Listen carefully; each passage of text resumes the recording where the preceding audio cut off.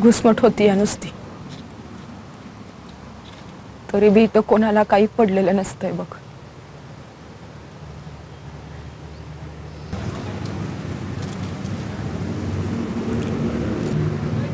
आपल्या आजूबाजूला आपले म्हणावे असे कितीतरी माणसं चालताना बोलताना दिसतात. ह्याच्यातल्या कोणालाच कधी माझ्या भविष्याबद्दल कसलाच प्रश्न पडत नसेल कारण. असा प्रश्न आता मला रोज पडतोय.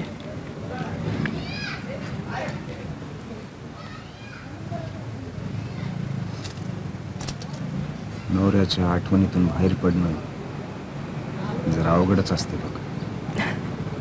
कसल्या आठवणी दिल्या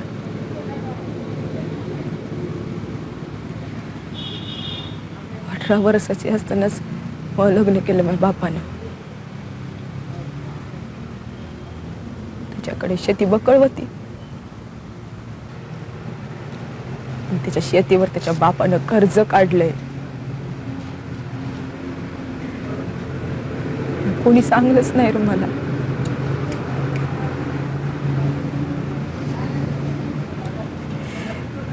बाप गेला आणि वरीस भरातच लग्नाची घाई केली. हिला त्याला कवाच कशामध्येच समाधान नव्हतं र? बाप गेल्यामुळं घराचं कर्जामुळं लग्नाचं शेतीमुळं जगण्याचं. कशातच समाधान नव्हतं त्याला. घरच्या आईनं लग्नाची घाई केली आणि यानं मरणाची. पण आपण ज्या पोरीला आपल्या आयुष्याचा जोडीदार म्हणून घरी आणले तिचा विचार आला नाही का त्याला? कसला विचार? विचार काय असतं हे कळायच्या आधीच. त्याच्या खांद्यावर कर्जाचं वज पडलं. बघलं तवा शेतामध्ये झिजत असायचं. नाहीतर दारू पिऊन रातभर बाहेर झोपायचं. नवरा काय असतोय? नवऱ्याचं सुख काय असतंय? ते कळायच्या हातच फाशी घेतली. कपाळावर कुंकू का लावायचं? ते कळायच्या आधीच पुसलं. मंगळसूत्र सोन्याचं असतंय म्हणून त्याला किंमत असते. असं मला आज बी वाटतंय.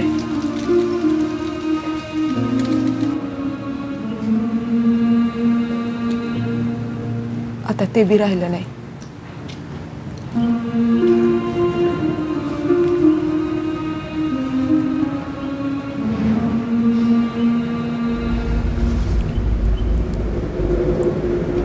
बाईचं जगणं आमच्या पोरापेक्षा अवघड असतं. असं मला नेहमी वाटायचं. आणि त्यातल्या त्यात मराठवाड्यात जन्माला आलेल्या बायाची तर मला लेखी होती बघा. नवरा सोडला तर दुसरं कोणतं कारणच नाही त्याच्याकडे जगण्याचं.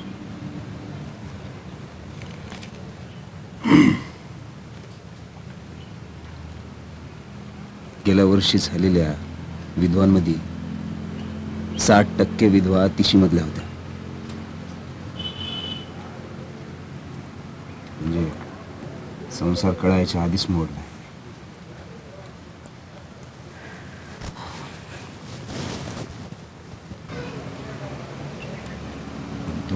लग्नाचा विचार करायचा नाही. कधी कोणाबद्दल काही वाटलंच बोंबाबोंब करायची.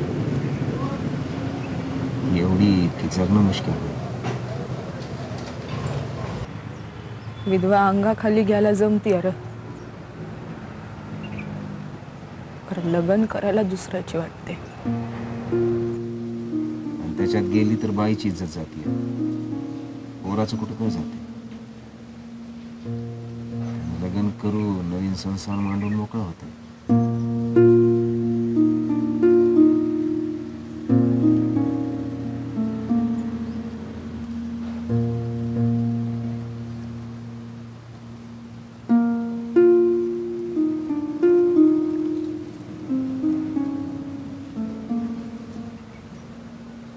आणि या सगळ्यात मला तू लई वेगळा वाटतोस. कस काय? गडी माणूस असून बी बायकाच्या मनामध्ये काय चाललंय ते कळतं तुला.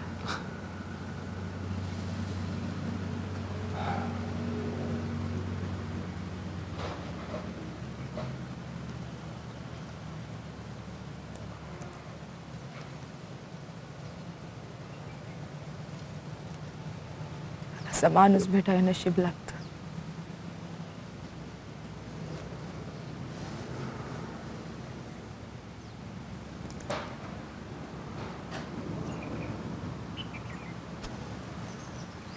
हाताला काय झालंय? काय नाही लागले. तुझ्या हाताला काय लागले? काय नाही. भाकरी करताना पोहलंय फक्त. भाकरी खायला कवा येतोस? कवा येऊ सांग? चालेल तुला. आवडत.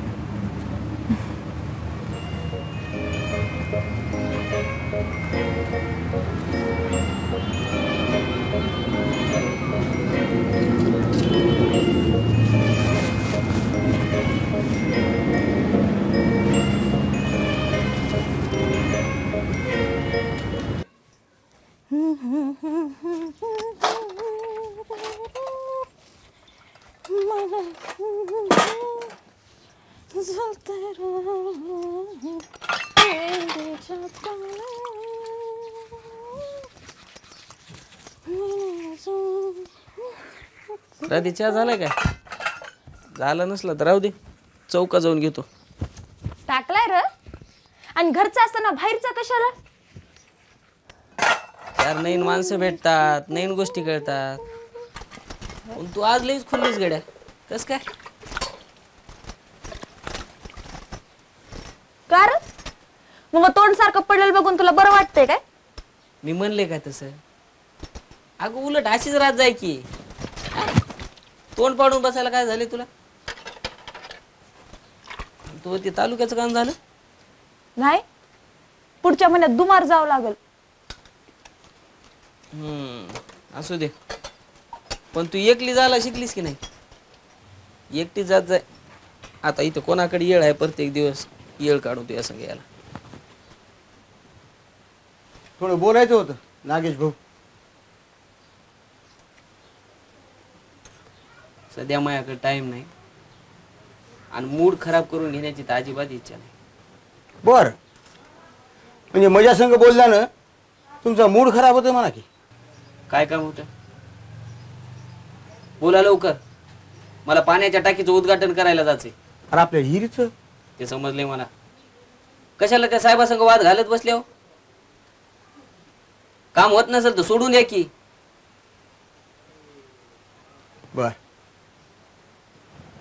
सोडून देतो. बघलीस राहते बोलू लागलो तर निघून गेलेत.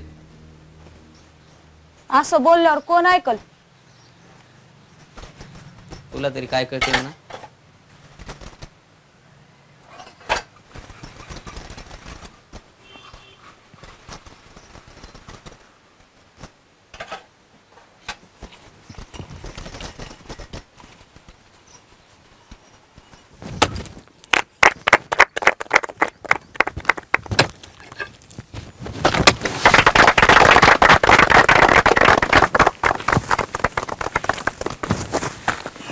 आज या ठिकाणी पाण्याच्या टाकीचं उद्घाटन झालं.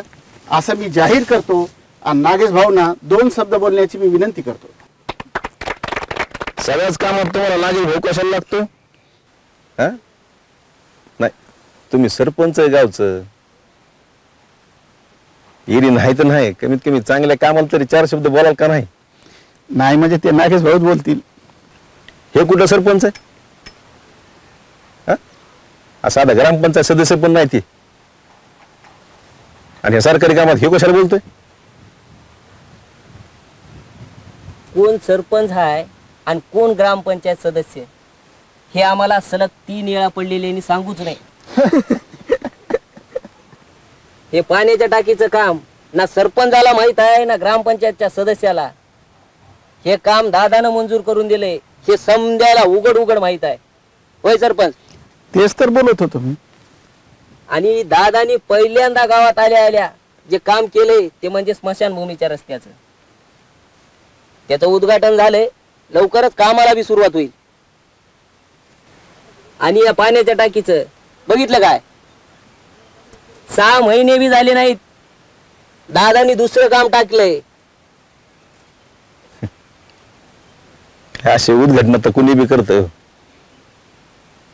पण हे टाकी बांधून त्या टाकीत पाणी कुठून आणून टाकणार आहेत? हे बी विचारा की दादाला. नाही तर कार्यकर्ते म्हणून तुम्ही सांगा आम्हाला. चांगल्या कामात घोडं घालायची सवयच असते काही काही माणसाला. म्हणून तर अशी दलिंद्री माग लागते. असो विरोधक असल्याशिवाय चांगलं काम करायला जूज बी येत नाही. आणि तुम्ही एक गोष्ट आहे का ध्यान देऊ नाही का बरं काय? दादानी ह्या कामासाठी चाळीस लाख रुपये टाकलेत. किती? चाळीस लाख. चाळीस लाखाचे चार हिस्से होते. काय? ग्रामपंचायतमध्ये सरपंच आणि मला चार चार लाख रुपये आले पाहिजे. असं कसं? सरपंच होण्यासाठी मी पंचवीस खर्च केलेत. अरे मग काय सगळे एकाच कामात काढून घेता का सरपंच? हा? अरे काहीतरी सिस्टीम राहते राव हा? पण काहीतरी वाढून देसाल की नाही? हो सरपंच. ते ग्रामसेवक काय म्हणाले ते बघा. आणि ते ऐका. तुम्ही करायचं असाल एक होऊन बसेल दुसरंच. घोडा अडकून बसलं म्हणजे? मग बसशाल बोंबलत. बरं नागेश भाऊ तुम्ही सांगताल तसं हो द्या. हा. तर पहिला हिस्सा ग्रामपंचायत कार्यालयात. सरपंच सदस्य आणि अधिकारी. समजे मिळून दहा लाख रुपये. साहेबाच्या पार्टी फंडामध्ये चार लाख रुपये. आणि साहेबाचे कार्यकर्ते आणि नागेश दादा. तुम्ही चार लाख रुपये. नाही नाही नाही. ते साहेबाच्या कार्यकर्त्याचे वेगळे द्या आणि मै मला दोन वेगळे द्या. बरं ठीक आहे. आणि वरचे अधिकारी आणि साहेब यांना दोन लाख रुपये द्यावे लागतील. तरी मी वीस उरतात की? हा, मग टाकी कशाने बांधायची सरपंच? हा? आ, काय लोकांची सेवा करायची तुम्ही? पण काहीतरी वाढून दिलं असतं तर. हो सरपंच. अहो जरा दमानं घ्या की? मान्य आहे तुम्ही पंचवीस खर्च केलेत. पण निवडून आलं तेव्हापासून गावात तीन कामं आले. त्याच्यात दहा मिळाले तुम्हाला. आणि हे वरून चार म्हणल्यावर चौदा झाले की तुमचे. आणि वरून आमदार बी आपलाच आहे. अहो तुम्हाला काय सांगणं लागते का काय? हे? निवडणुकीच्या तोंडावर कामं करायचे असतात. आणि मागचे पैसे निघून पुढच्या पंचायतीचा खर्च निघेल एवढे पैसे जमा झाले तुमच्याजवळ. कशाला उगा खाव खाव करता? हं? बसा की गप. ए यार दोघांच्या भांडणात सगळा निधी परत जाईल. हा? नाही ते काय? मी सांगतो तसं करा. ग्रामसेवक म्हणतात तसं करायचं.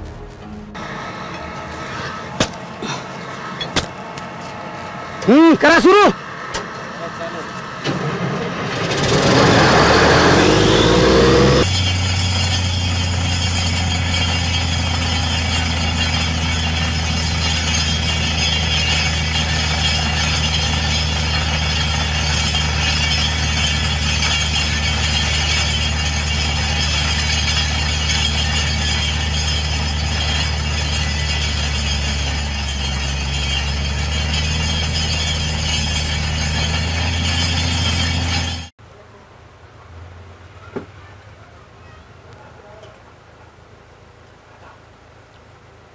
राधा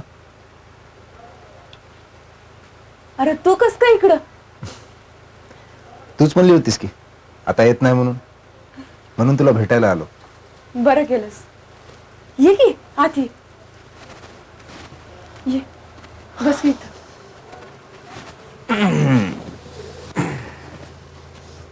तू मला होतास की माझ्या हातची भाकर खायची वेळ कवा येईल म्हणून? बघ आली की ये. एवढे उशिरा भाकर का खायलीस? तिकडं शेताकडे बोर पाडायचं काम चाललंय. आई तिकडे भाकर घेऊन जाणार होती. म्हणून मी ते थांबले.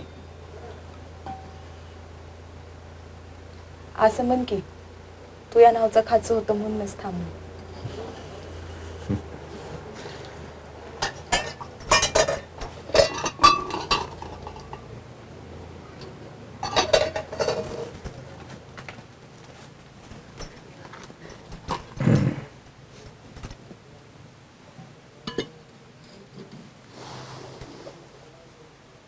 कसं झालंय सांग. मी बनवलंय सगळं.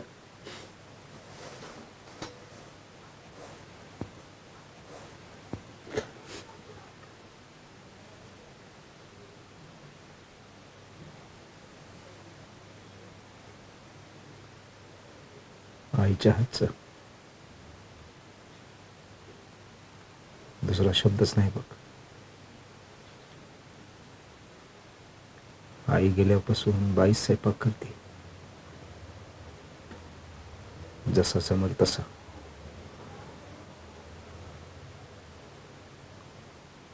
तुम्ही भाकर खाऊन आईची आठवण झाली. आईचं सगळं विसरत चाललो होतो. पण त्या भाकरीनं आई कुठेतरी असल्यासारखं वाटलं.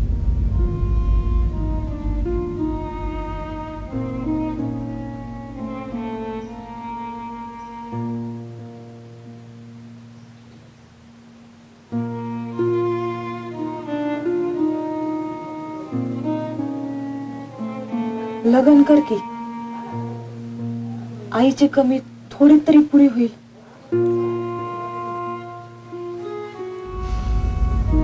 मागे बहीण आहे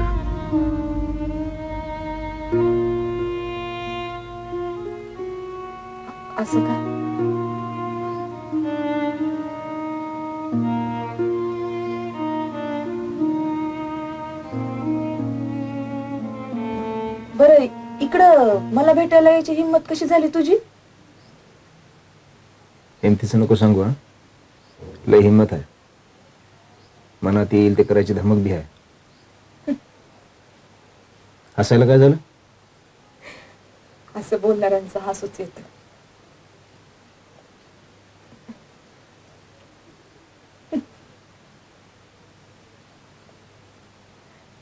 जन्मभर साथ देतो म्हणणारे एक दोन वर्षातच सोडून जातात सगळेच तसे नसतात आणि नुसतं बोलत नाही येळ आल्यावर करून बी दाखवेन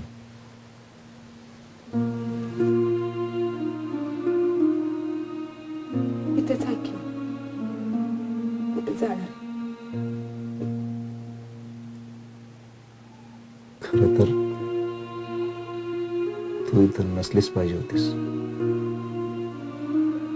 तू जगलीच नाहीस मनासारखं.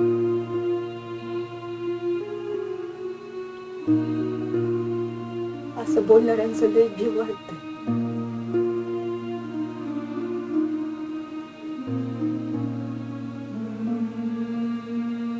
जगायची आस लावून फूस लावणारे माणसं लई भेटतात.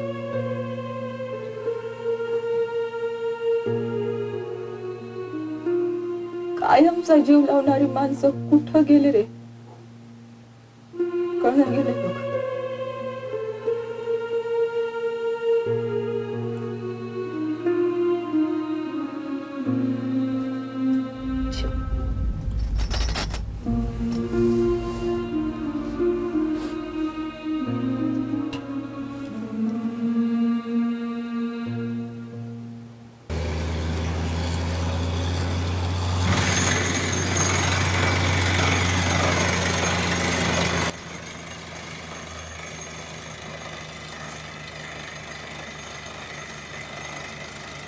किती बाकी आहे? वीस फूट झालं. अजून जावं लागेल का? पाणी लागेल ना? लागायला तर पाहिजे. नारळ इथंच फिरले. सकाळी येताना देवाला बी नारळ फोडून आलो. बरं. सकाळपासून जेवले नाही तुम्ही. जेवून घ्या बरं. जसं काही मीच बोर खंदायलो. मला कशाला लागते भूक? अशी कशी भूक लागली नाही? जेवून घ्या म्हणलं तर. तुम्ही जेवल्याशिवाय मी बी जेवणार नाही. तुला काय झालं ना जेवाय. त्या बोरला पाणी लागल्याशिवाय मया घशाखाली घास उतरणार नाही. आणि तुम्ही जेवल्याशिवाय मया घशाखाली घास उतरायचा नाही. तू कशाला आलीस इथं मरायला? मी म्हणलं होतं ना दुपारी मी घरी येतो जेवायला म्हणून. मग केव्हा येणार होता? दुपारची भाकर खायला काय रात्री येणार होता हो काय? मवा जीव लागला नाही म्हणून आले. जेवून घ्या बरं. राहू दे. अहो आधी जेवूया आणि दोघं बी बसू. काही दोघे बसलं तर चालतंय ना. पाणी कवा लागतं ते बघत बसू. घे. काय आणलीस भाजी? पिठलं आणलंय.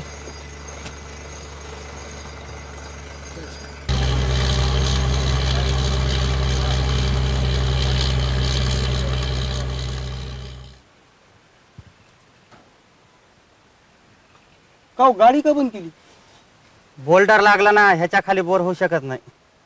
अहो, अजून पन्नास एक फूट तरी खंदा नाही नाही ह्याच्या खाली पाणी बी लागत नाही. आणि सरकारचा नियम आहे दोनशे फूट बोर मारायचा. अजून पन्नास एक फूट. खंदा त्या जमिनीत पाणी नाही किती बी खाली मारल्या तर? हो, वाटल्यास मी पैसे तुम्हाला जास्त देतो. पैसे नाही ते दोनशे फुटाचे पैसे देऊन टाका तुम्ही.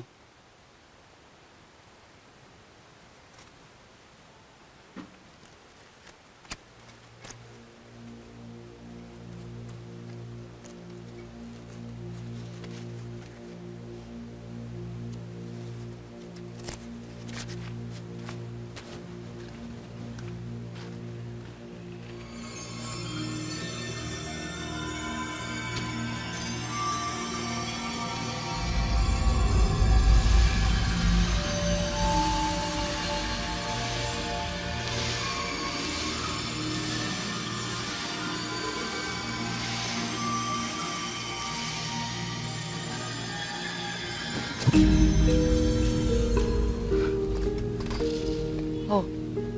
मी काय म्हणाले? तुम्ही एवढं कशाला मनाला लावून घ्यायला? हा? आपण अजून मारून बघूत की. तिकडे कापसाच्या पट्टीत नरम जागा आहे. तिकडे लागेल बघा पाणी. याच्यासाठीच याजानं पैसे आणले होते.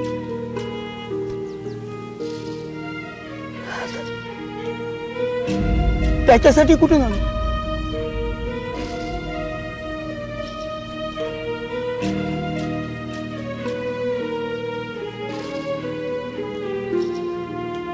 पाणी आपल्यासाठी नाही आपल्यासाठी नाही जे आहे तेच बरं आहे